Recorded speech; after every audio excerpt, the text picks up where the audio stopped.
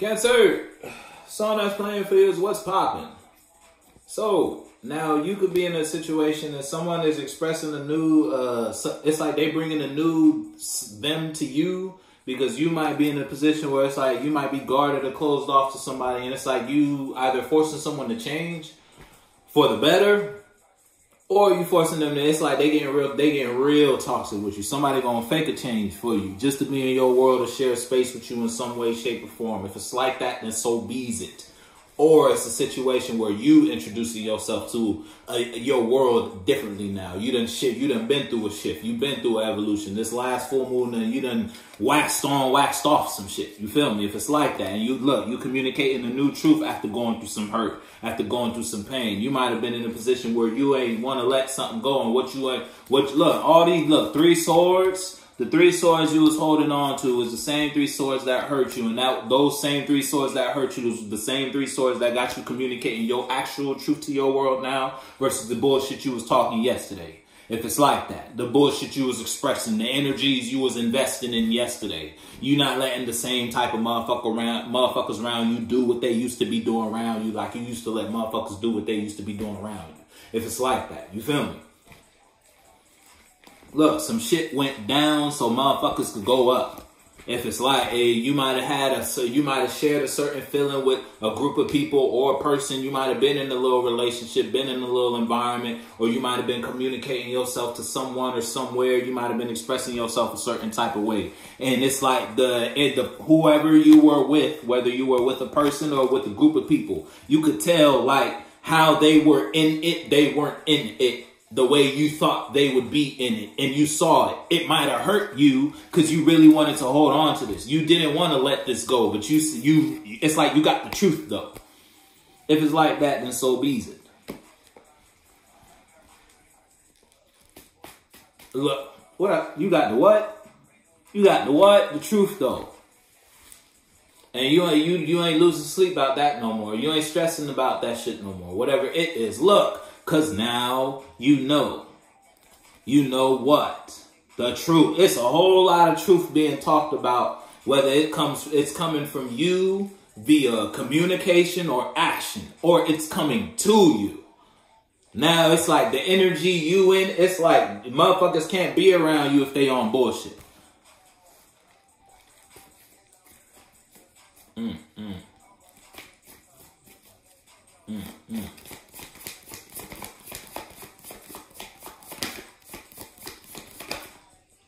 Yeah, look, I, I told what I told you, motherfuckers can't be around you because this is this flip first, this flip second, so they ain't come out at the same. They both out here.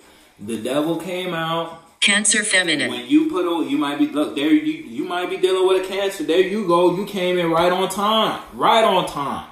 If it's not you who let go of the toxic shit, someone outside of let someone outside of you let go of toxic shit with you, and that forced you in a certain type of realization about the truth you were living, that might have brought some pain to you. You thought some shit was what it wasn't. You thought you expressing or communicating in a certain type of direction or investing your energy in a certain type of way would yield you some certain type of manifestations within this experience, and that might not have happened. Now you real defensive against that anything that came out of that world that you thought would lead you to the your, that you thought was your yellow brick road, so to speak.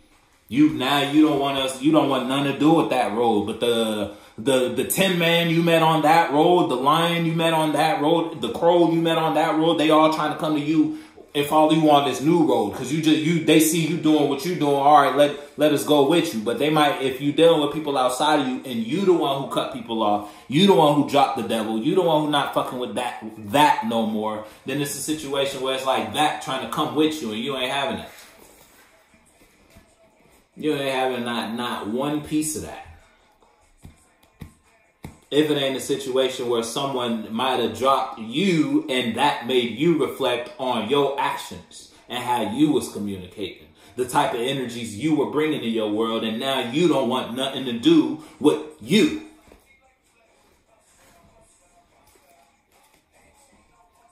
Or what you were. You want to be far away from that version of you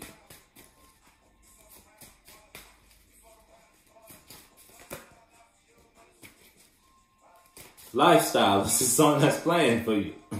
yeah, look, look what's on the bottom. So this ain't out, but look, all that lifestyle you previously lived, that stay, that still may haunt you. You still think about whatever this is. If it's a solo battle, it, it doesn't, it doesn't have you hostage like it used to. You're not in hell, but you still get flashbacks. You feel me? You, you, you PTSD with that shit. You feel? It's like that.